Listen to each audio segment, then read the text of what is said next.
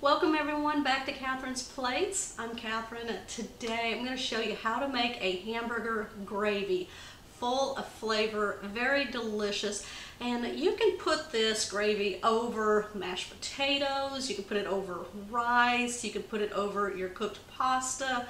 It is so delicious either way. Today I'm going to show you how to make this recipe and also homemade mashed potatoes to go with it and it's so simple. Okay, if you're ready, I know I am. It is a very comforting meal for a very rainy, cold day today. So let's go ahead and get started. Okay, who doesn't like homemade mashed potatoes? And they're so easy to make. You're just going to take the amount of potatoes that you want. Now we're a family of four, so I'll probably do about six or seven potatoes and these are just medium-sized russets and they're just the brown potato right here. You can use any potato you want to make your mashed potatoes. So what I'm going to do, I'm just going to slice these potatoes and then kind of cut them into shoestrings. And then we're just going to cut them into dices. This will help cook them faster. I've seen people where they've peeled the potato and put the whole potato in water and cook it that way, but I'm like, how long does that take?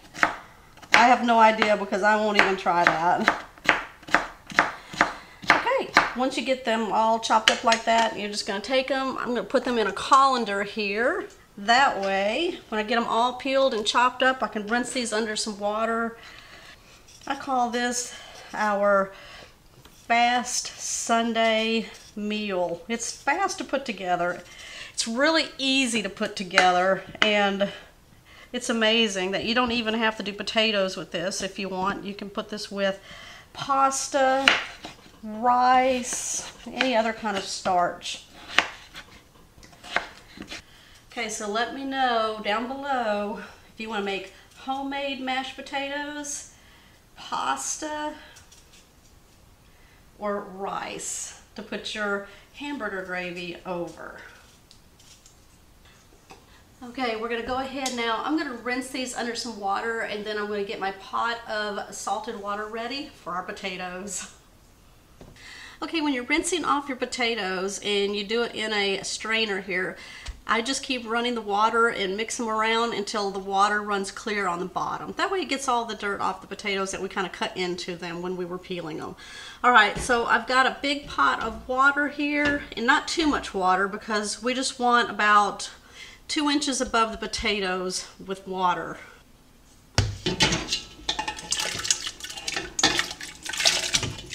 Okay, you always want to start off with cold water before you make your mashed potatoes, before you reboil them. I'm just going to add about a couple of teaspoons of salt. Give it some flavor to the water. We're going to put it on a high heat. Back on the back back there.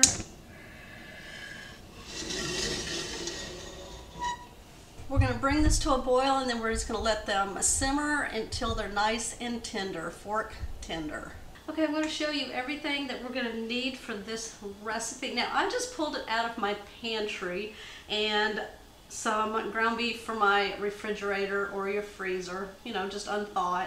Now, what you're going to need, two pounds of ground beef. We've got four cups of some beef broth here, one onion, got some garlic. Now, if you want to do garlic powder, if you want to do minced garlic, whatever works for you. Okay, we've got some Italian seasoning here, some Worcestershire, salt, some pepper, flour, and then we've got some butter here. Now, there was some questions on the butter. Y'all were saying that this looked like half a stick of butter. So it does look like half a stick of butter, but it's wider. This is a Costco butter, and this came from Walmart. So it's a skinnier stick and this is a wider stick. So, but it's the same amount. So I had a lot of questions on that on one of my videos and so I just kind of wanted to, if you see this video, let you know what the difference was right there. Okay, let's go ahead and I'm going to show you how we're going to put this all together and make a delicious hamburger gravy. It's gonna knock your socks off. Okay, to start our gravy, I've got a large skillet or you can even use a large pot. We're gonna put it on medium-high heat. I'm gonna go ahead now and add my ground beef. And then I'm going to chop up an onion here. Now, usually in my recipes, I'm always adding a little bit of oil to my pan and then I add my onion and saute that up and get it nice and softened. And then I add the ground beef and brown it up. And then I drain the grease out of that.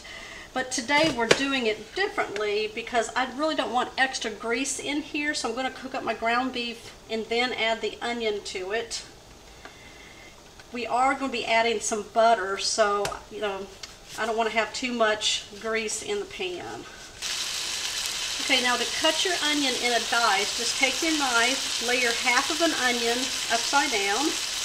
You're going to bring your knife through in slices about three quarters of the way through.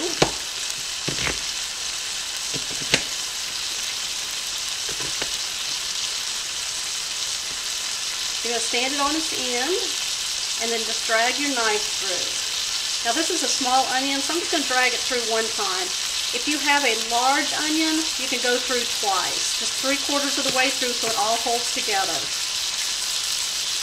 And then take your knife and then just drag it through. All right, let's go ahead now and start breaking up my ground beef.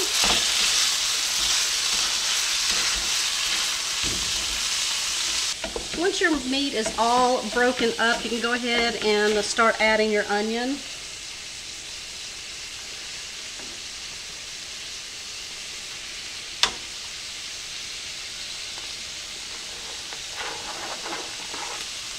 Now this does take a few minutes to brown up, so I'm going to let you go for just that amount of time, bring you back when it's all nice and browned up, and then we're going to finish this gravy up.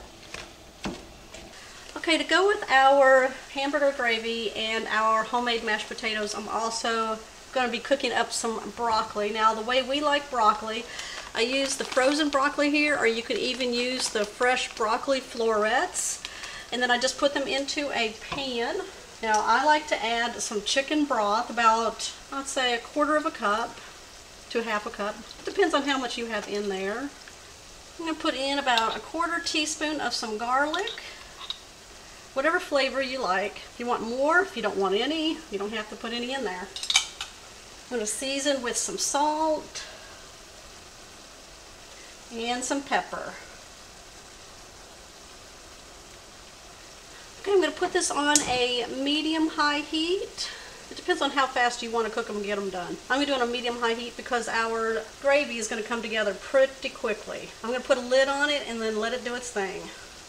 My ground beef is nice and brown now. What I'm doing is just pushing it off to the side because I want to drain some of that grease. We're going to add our own flavor to this and I don't want it to be that right there. So I'm just going to lay in several paper towels and push it in. Then you just want to push it up against the meat to absorb any of that liquid you don't want.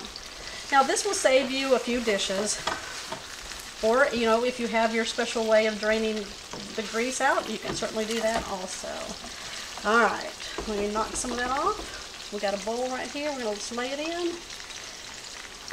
Okay, now to the empty spot right there, we're going to add butter. This is eight tablespoons or half a cup. So we'll let that melt. You do want it all melted. Okay, I've got eight tablespoons of flour that I'm going to sprinkle over the butter and the meat. And what we're going to do is just stir this together, bring in the meat a little at a time. And then we're going to cook this down for about two minutes.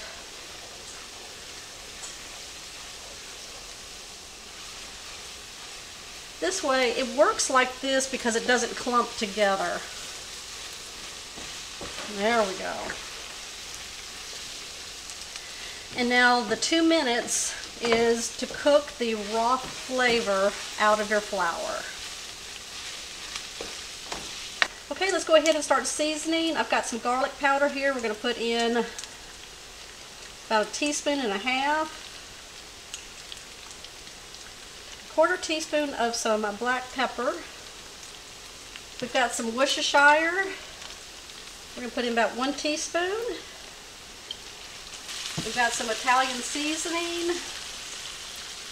We're going to put in about one teaspoon. I'm going to add about a quarter teaspoon of some salt. Let's mix that all together. And while we're mixing this all together, we're going to add four cups of beef broth, and I'm going to add that in. Now, this is a doubled recipe, and there's a reason behind that. When I make hamburger gravy, there's somebody in this house that wants it for the next day for their lunch.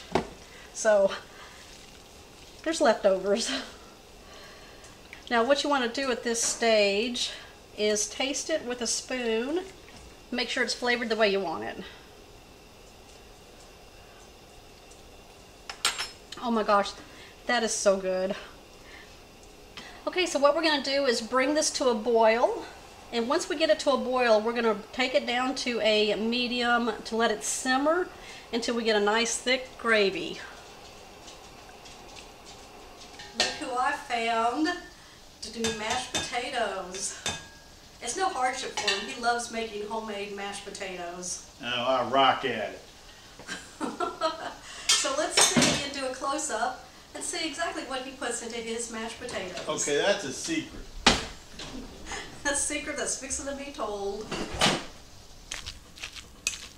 Every all the ingredients I use are to taste, so there's no particular measurement. So it is however much butter you want, uh, if you want buttery potatoes or not.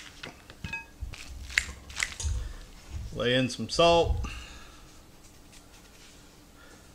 some pepper, and yes, I like pepper. So it's going to be a little heavy handed on the pepper. But you guys can put in whatever you want. Now, I like smooth potatoes. So I'm just going to add a little bit of milk. And work that in. Now another way I like mashed potatoes is when the peel is left on. But for this, I think the smooth, non-lumpy potatoes would be best. And now, for the best part of it, cheese. And it's just a mild cheddar. Because, you know, everything's better with cheese. And then, of course, must taste test. Oh, those are so good. Mm. And I'm going to say these are ready. There you go.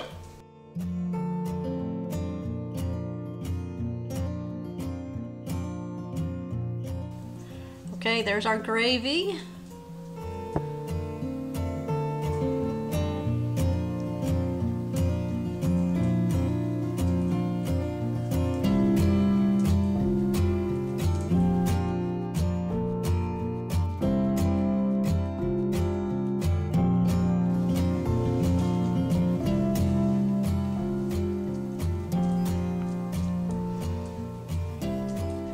Okay, whose plate is this? Oh, that's gonna be mine. You know that. Again, empty hands. Empty hands. That's right. That's what you're stuck with.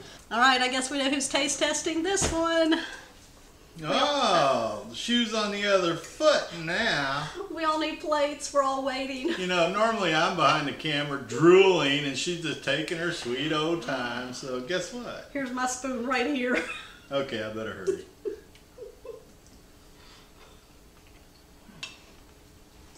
What do you think? That's good. Hamburger gravy over homemade mashed potatoes. We got some broccoli that we gave it some delicious flavors. And we have some Schubert rolls that we had put in the oven. Guys, they only cook for five minutes. I pulled them out of the freezer. Mm. How's the broccoli? It's broccoli good. Good. Okay. Give us a thumbs up on this one. Make sure you comment down below what you think of my hamburger gravy. It is so easy. The ingredients straight out of your pantry. You just use some ground beef. If you're new to my channel, make sure you hit that subscribe button down below and that bell notification. That way you'll know when all of my shows are posted. And believe me, I have over 500 out there. Go check them out. Okay, guys, we will see you on the next episode. Bye.